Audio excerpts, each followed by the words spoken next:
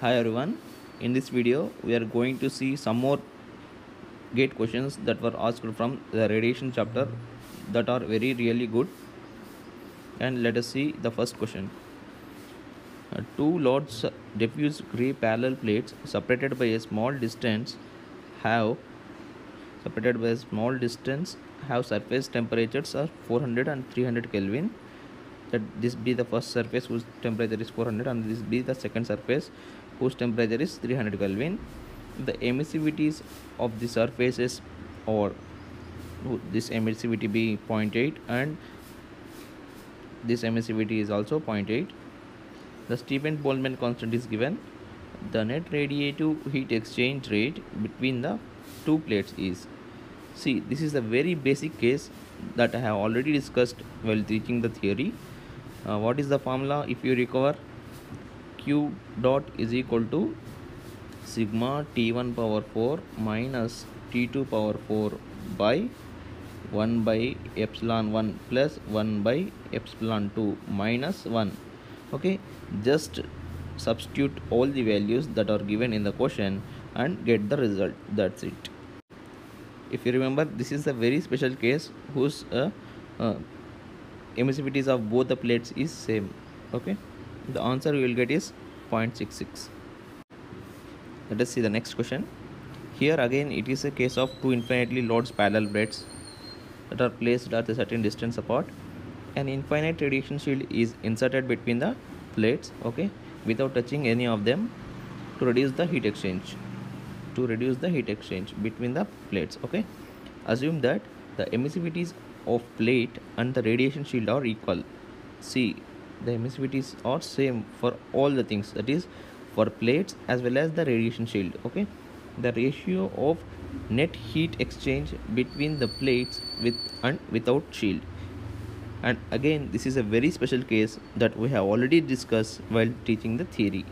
What is he saying? Initially there were two plates that were separated by some distance whose emissivity is same for both the plates. That is E1 and E1 okay and they are exchanging heat. Let the temperature of the first plate be T1 and temperature of the second plate be T2 now what is happening?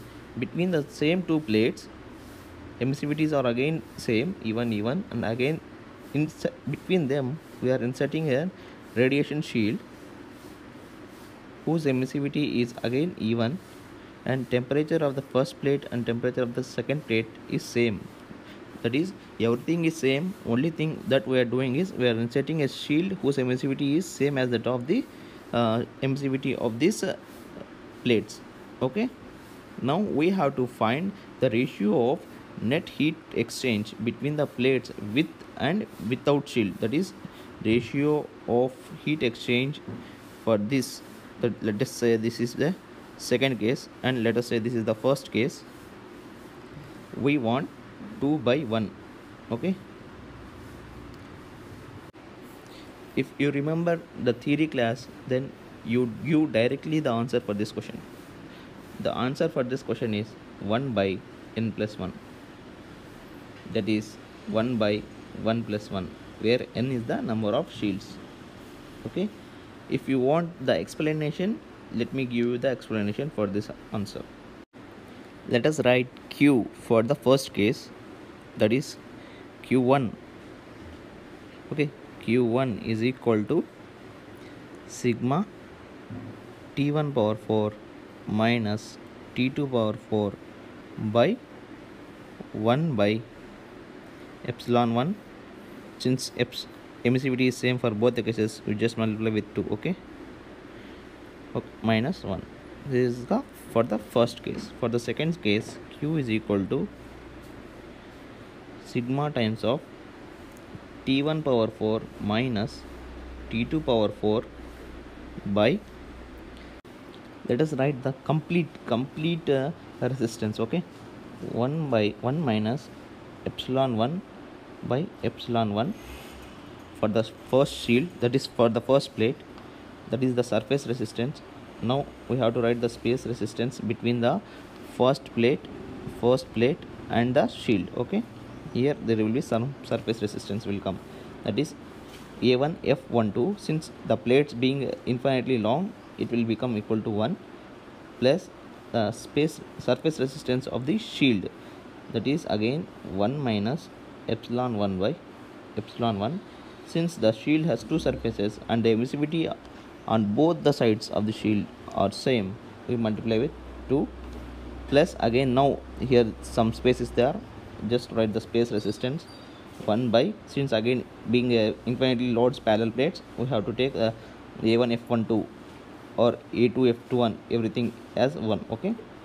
Plus now we have to write the surface resistance of the second plate okay? Again for the second plate also 1 minus epsilon 1 by epsilon 1 okay here we are not multiplying with 2 like the case of shield because here we are not multiplying with 2 like the case of shield because the only one side of these plates will be participating in radiation. But for the shields both the sides of the plate are going to be participate okay? For the plates only one time okay? Each plate one time. For shield we have to write two times surface resistances okay? Now if you see these four terms are these three terms are same okay? You can write it as four times of 1 by epsilon 1 minus 1 if you add these two we will get plus 2 okay? This is the denominator. What will happen? 4 by epsilon 1 minus 2 is the answer. That is you will get this in the denominator. If you see what is happening here in the denominator uh, it is 2 by epsilon 1 minus 1 is here in the denominator. Now from here from here take 2 common. You will get 2 common 2 by epsilon 1 minus 1 okay? This thing is in the denominator for the second case. This is the denominator for the second first case. So what will happen? If you write q2 by q1 you will get the you will get 1 by 2 okay? 1 by 2 is the answer let us see one more question. Here a 100 watt electric bulb was switched on in a 2.5 into 3 into 3 size thermally insulated room. There is certain room uh, which is thermally insulated. That is there is no heat exchange between the room and the surrounding. Having a temperature of 20 degree centigrade initially. The room temperature at the end of 24 hours. Okay let us solve this. Okay let us go back to thermodynamics. We have q is equal to du plus dw. dq is equal to du plus dw. And since it is thermally insulated we know that dq is equal to 0 so dw is equal to du. Now what is the work done on the system? Work is done by means of electric bulb okay? Let us find the total work done on the room by electric work that equal to uh, it is an 100 watt bulb that is on for 24 hours. That means 24 into 3600 seconds. This is the total amount of energy that the room will get okay within 24 hours. Now this energy is completely utilized to increase the temperature of the room. Okay since there is no other heat transfer to the surroundings whatever be the work done that is used to increase the temperature of the room. Okay now we know the formula for du du is m cv dt again m can be written as rho times of volume into cv into t2 minus t1 okay? Again here density of air is 1.2 volume is given and uh, cv for air is 0.718 if you substitute all these values you will get a temperature near about 47 470 degree centigrade. Therefore this is the answer okay speaking more appropriately you will get a 465 degree centigrade okay? Here the students do the mistake that is they will consider cp here and they will end up with the wrong answer. Options are waiting for you here okay? You should not consider cp you have to see. It is a room which is thermally insulated that is it is a closed room okay? You have to use cv only and some people will left this question since they don't know the density of air. So these standard values you should always remember okay? Density of air is 1.2 let us see the next question. This is very much interesting. Here a hemispherical furnace of 1 meter radius has the inner surface maintained at uh, 800 kelvin okay? There is hemispherical surface whose inner surface emissivity is equal to 1 and whose temperature is 800 kelvin okay? While its floor is uh, having this is a floor floor for the hemispherical surface is a yes circular one whose emissivity is 0.5 is kept at 600 kelvin. And he has given Stefan Boltzmann constant net radiative heat transfer from the roof to the floor. That is what is the net radiative heat transfer that is coming from the roof to the floor he is asking us okay?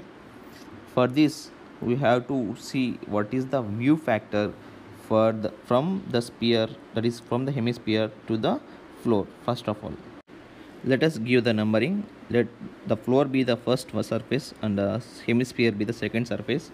And we know that f11 is equal to 0 since it is a flat plate and f12 is equal to 1 and f21 plus f22 is equal to 1 individually these two are less than 1 okay? And let, let us apply the rule of reciprocity. Therefore f21 into a2 is equal to a1 f12 is equal to 1 since f12 is equal to 1 you will get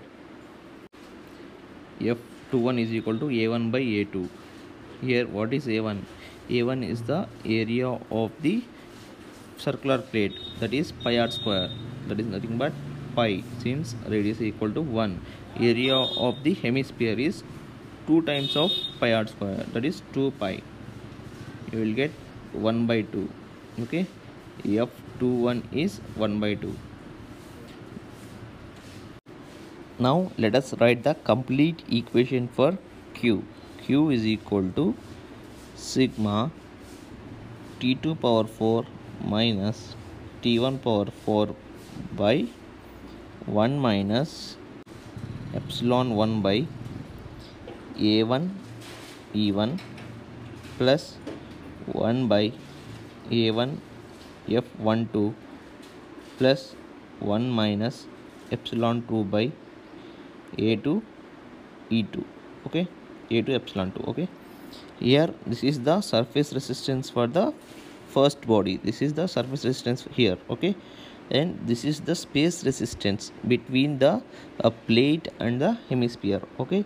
And again this is a uh, surface resistance of the hemisphere okay this you can use either of this either you can use here a2 f21 or you can use a1 f12 if you are using a1 f12 you need not find the shape factor. That is f21 you need not find that. You can directly write this. Since you already know f12 is equal to 1 and you know the value of a1 you can directly write this okay?